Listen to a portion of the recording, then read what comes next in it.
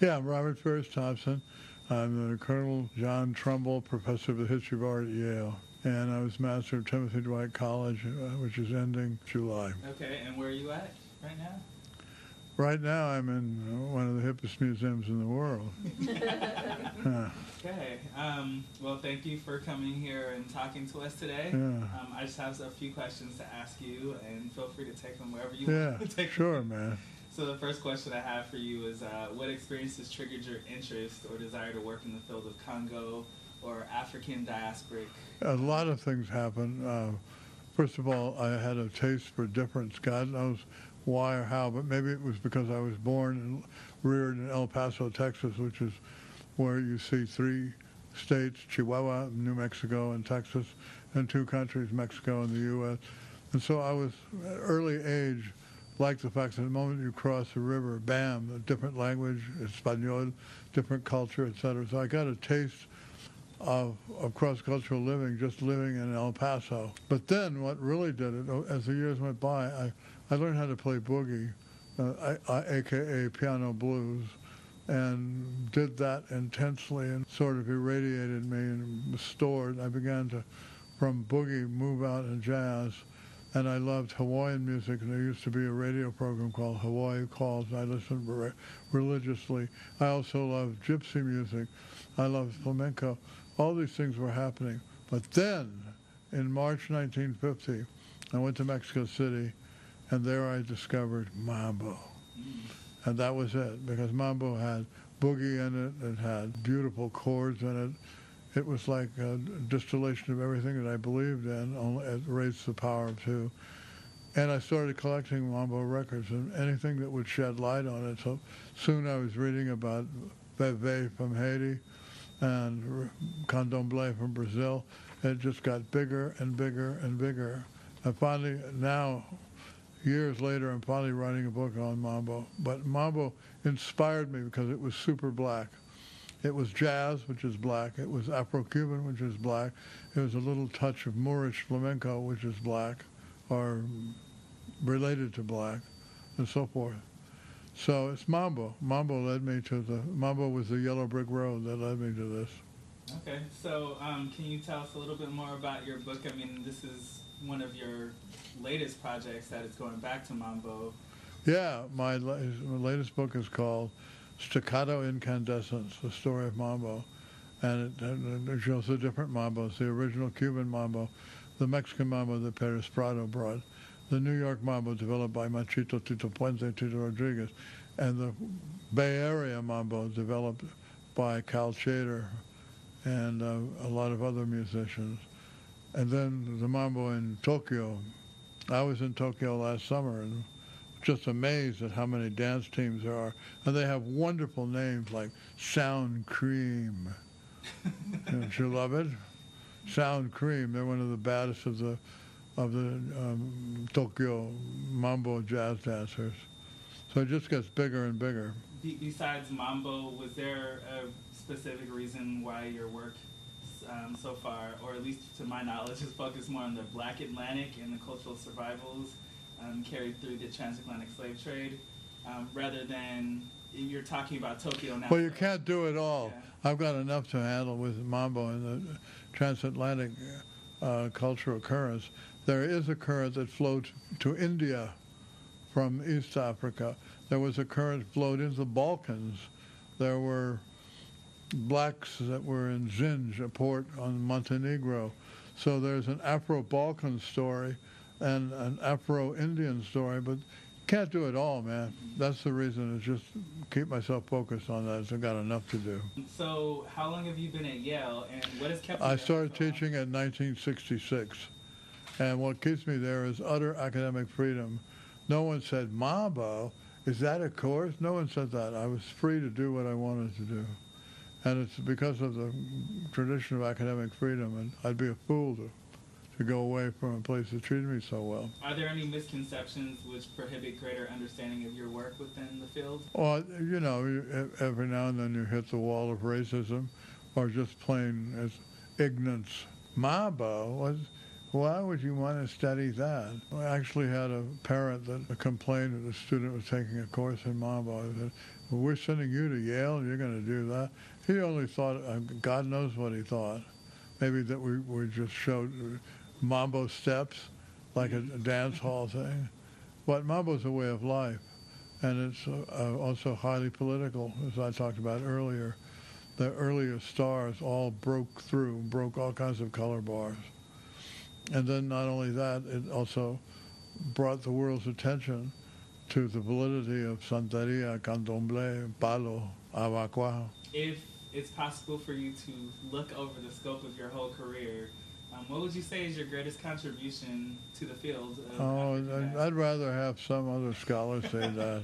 Are there any other scholars who have influenced your work?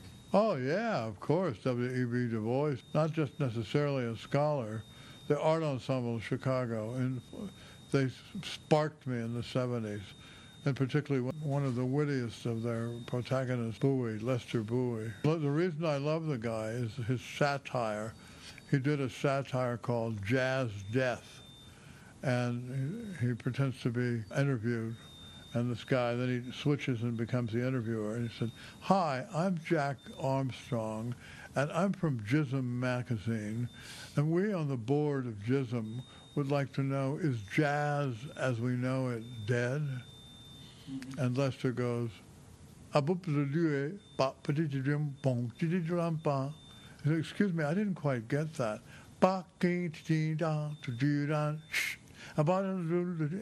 I'm sorry, sir. Uh, we're having a communication problem.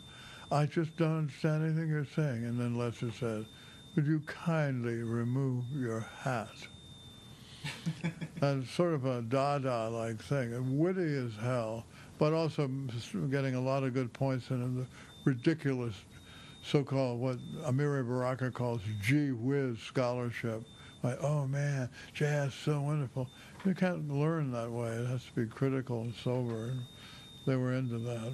Are there any other figures, any other people who've had... Oh, well, all the figures inspire me. Muhammad Ali, I, I lecture on him all the time.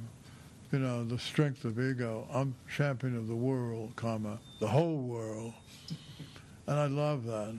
You know, that sassiness. What trends do you anticipate to um, that will affect the future growth in the field? The music after hip-hop because it's slouching its way towards Bethlehem right now. There's something happening. I mean, beyond 50 Cent and Kanye West, there's something happening out there.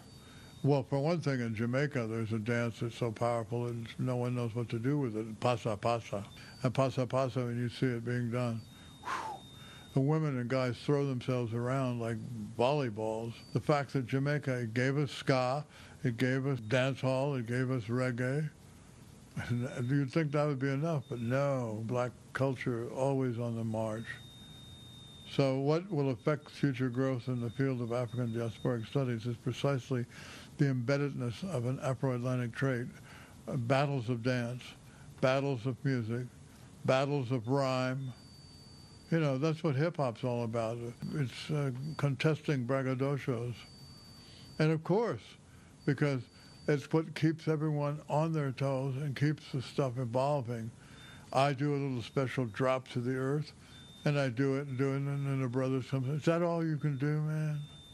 well, show me something, bam, bam, bam. And then he gets complacent. Is that all you can do? And you can just imagine it. But battles of dance and battles of music is one of the engines that will always keep black culture moving because you can't be complacent. The moment you're complacent, you're dead. Are there any connections between tango and Congo that you were building? Oh yeah, that's the whole theory of my book, man. First of all, uh, tango, tangalala, walk that walk, and stylized meandering, and the fact that that Buenos Aires, although there are only maybe 4,000 blacks in a city of 10 million, that doesn't mean they couldn't be influential, because if you think of what happened when the Beatles, who weren't even black, and the, and the Rolling Stone group, they weren't even black, but they picked up the blues and they radiated the entire United Kingdom and pretty soon the whole English-speaking world, the youth of such.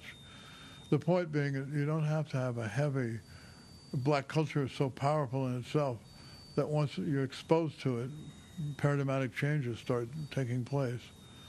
But in tango, whew, well, first of all, you can prove the blackness much faster by going to the, the beat just before tango, milonga. And milonga has everything black imaginable. It has hip hop like braggadocio lines like, I'm from San Retiro, where blades collide. What I say with my mouth, I back up with my hide. Doesn't it, you can almost imagine 50 Cent saying that? It's a rap. And, and then it gets not only, it, it gets very beautiful. The, the music before the milonga, the habanera, uh, is very beautiful. And it came out of Cuba and spread around the world.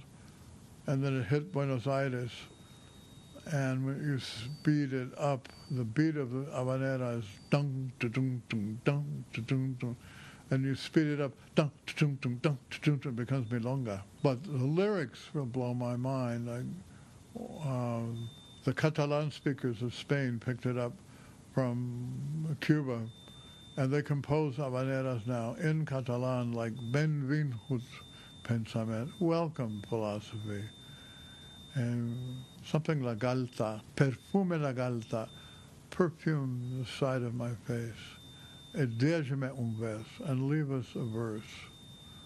I mean, the elegance of it, you know, welcome philosophy, leave us a verse.